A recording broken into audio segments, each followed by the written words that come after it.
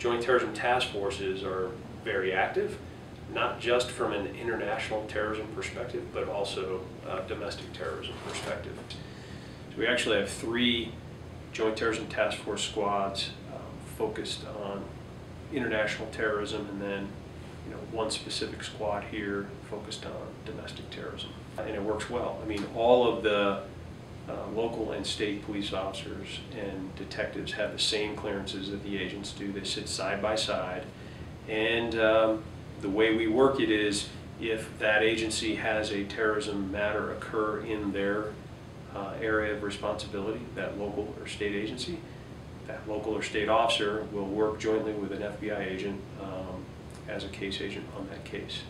So they all carry a pretty big caseload, uh, and they work arm in arm with access to the same databases and the same systems.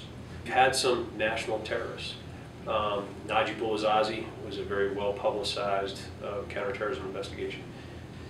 Zazi was definitely somebody that was trained internationally uh, and but bought into the philosophy really gaining access through the internet um, to radicals that were overseas. And then he decided to act on that and travel abroad, get some of his training, and then come back here. He was planning and facilitating uh, out of this area of responsibility, but his target was New York City. We've had other uh, recent um, concerns on the counterterrorism side as well. So our Joint Terrorism Task Forces are very active, not just from an international terrorism perspective, but also uh, domestic terrorism perspective.